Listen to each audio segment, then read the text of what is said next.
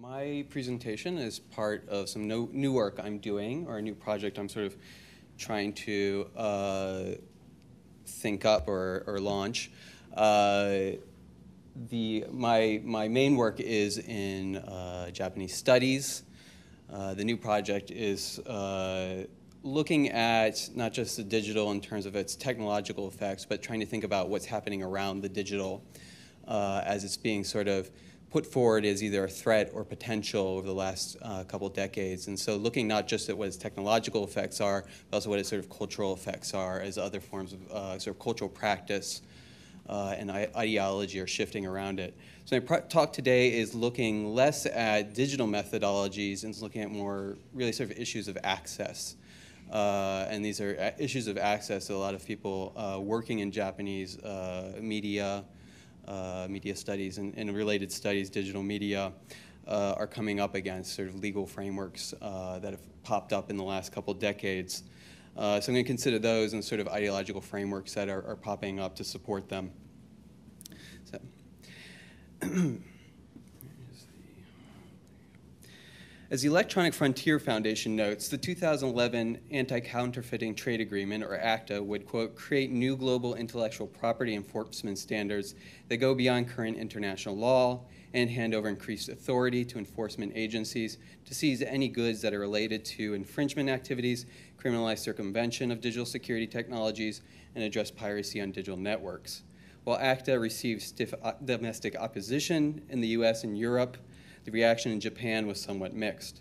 Although the government's support for the treaty met uh, with outcry in some quarters, Japan's lawmakers quickly ratified it in 2012 and sought to assure a skeptical public that the treaty would not significantly change existing, change existing legal frameworks as they applied to the, quote, appropriate use of digital and network media.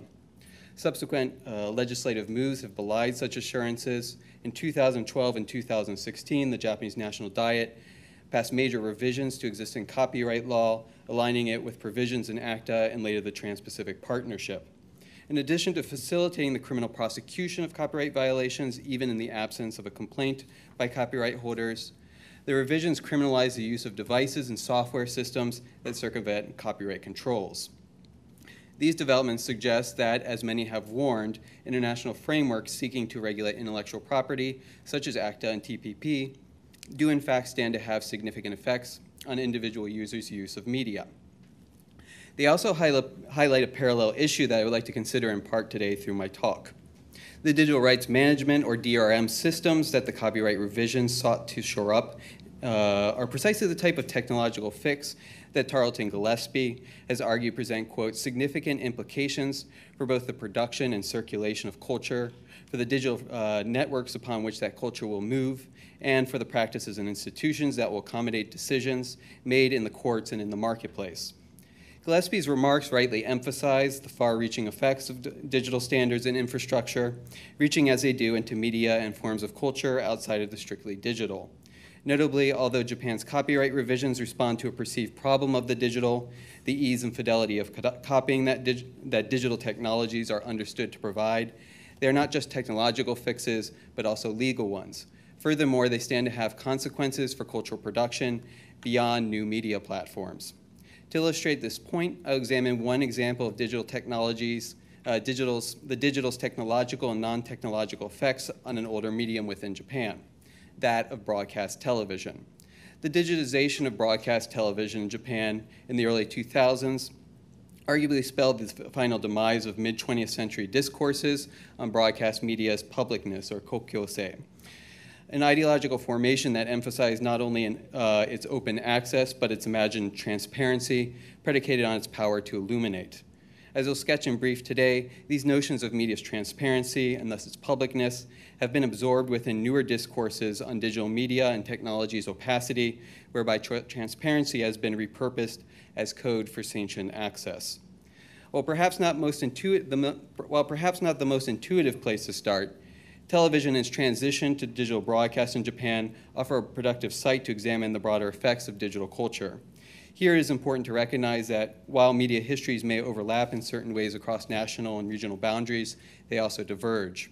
In contrast to the US, terrestrial broadcast in Japan alongside broadcast satellite or BS remains a vital component of the media landscape where alternatives such as cable television historically failed to reach the market saturation that they achieved in the US from the 1980s onward.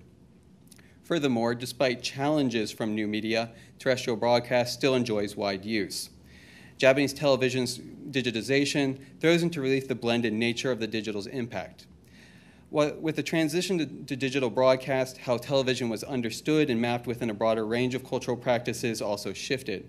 For the rollout of digital broadcast during the 2000s, a consortium of equipment manufacturers and broadcasters adopted BCAS, or BS Conditional Access Systems, now standard on all television sold in Jap Japan. Christian Sandvig has noted how the internet, once imagined as the anti-television, has, with the growing dominance of video streaming, been technologically transformed and retrofitted to make video distribution possible. And the process become something more similar to the predecessor it was meant to replace. The story of digital broadcast and BCAS's adoption provides the inverse of this narrative, in which broadcast television has, uh, was refitted in Japan to meet the needs of content producers and providers in a digital networked era. One of the very same DRM controls whose circumvention to 2012 and 2016 copyright law uh, revisions criminalize BCAS reshaped Japanese television by abridging the broad of broadcast and recasting television in the image, if not actual shape, of a point to point service in which content providers and rights holders can regulate access to and redistribution of content.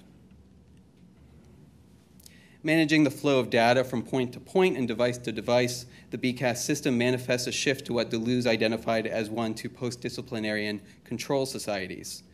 BCAS, alongside similar strategies, modulates the movement of content data, controlling its decryption, transcription, and re-encryption. To view broadcast content, the viewer must insert into their television or receiver the BCAS card, which decodes the encrypted broadcast signal. Containing an ID number and master key in its integrated circuit, the card allows for the reception and storage of encryption keys with which the receiver decodes the broadcast signal. The card system serves two purposes.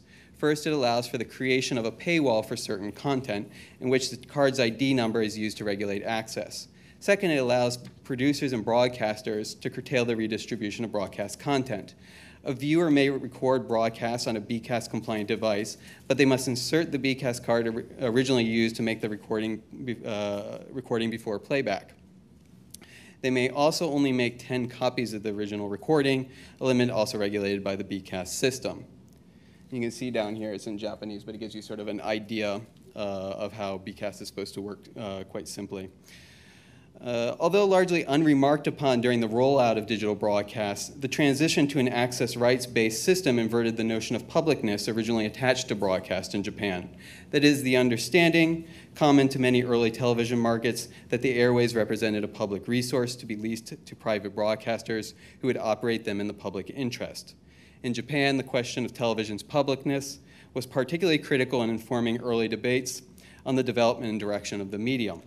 Notably, discussions of television's publicness channeled Enlightenment ideals introduced to Japan in the 19th century and resurgent during the post-war period, which imagined the properly managed public sphere as a space of clarity and illumination.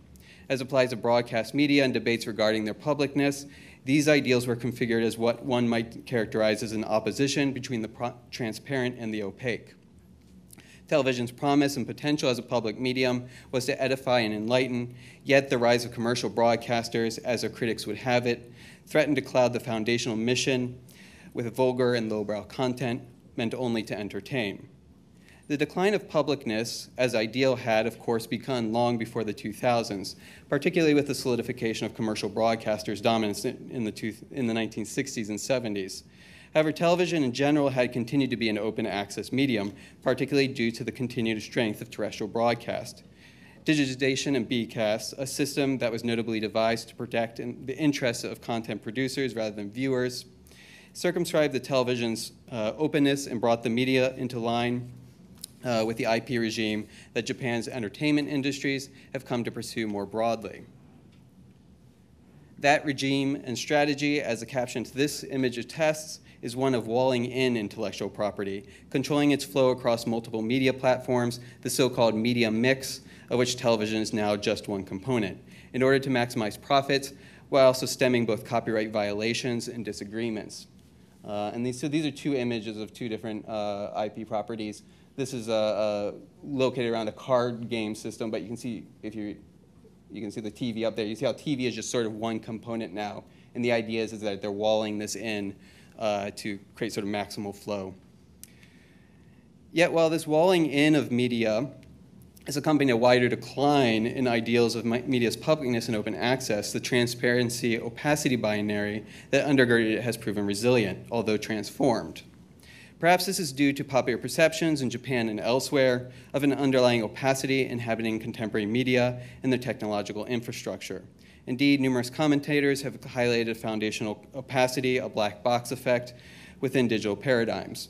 Alexander Galloway, for example, has char characterized opacity as constitutive, constitutive of contemporary societies, writing that, quote, a specific kind of blackness has begun to per permeate cybernetic societies, and further, this blackness is not simply an effect of cybernetic societies, but is in fact a necessary precondition for them.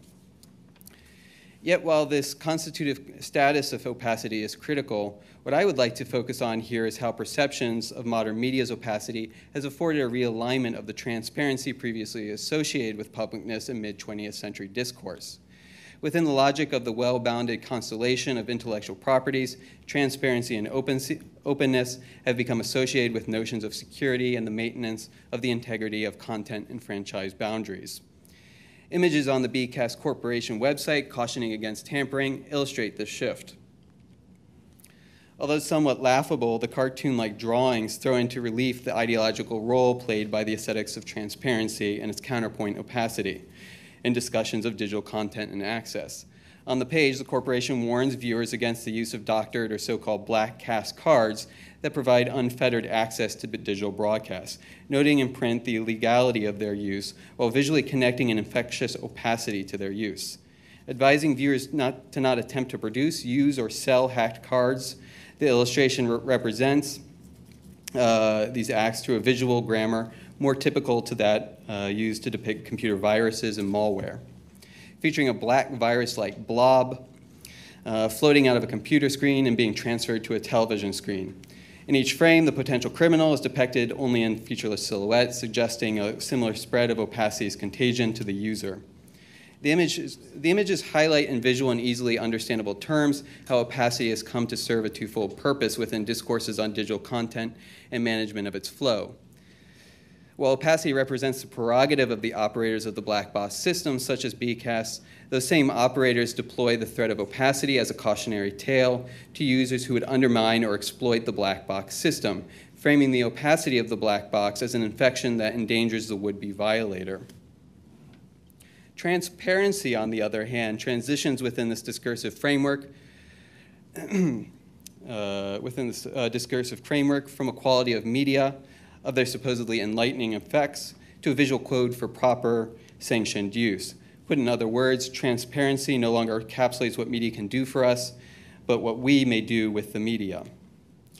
Ultimately, organizations such as the BCAS Corporation claim opacity as a right, which they exercise in order to maintain the systems and protocols that secure the bounded space of sanctioned access and use, while transparency represents a circumscribed set of practices permitted to the user. In her analysis of early internet discourses of the 1990s and 2000s, Wendy Chun highlights an inversion of freedom that tracks with that of transparency as I have traced it here. Chun notes a conflation of freedom and control in these discourses, within which the control of networks' unwieldiness is configured as a means of protecting one from a deleterious form of openness. Here, freedom becomes reimagined as a circumscribed space of safety, which control secures from the dangers that lay beyond. Reflecting on these shifts, Chun proposes that we open ourselves to the possibility of uh, impossibility of control, thus dissociating security from freedom and embracing the latter in its more unwieldy and radical form.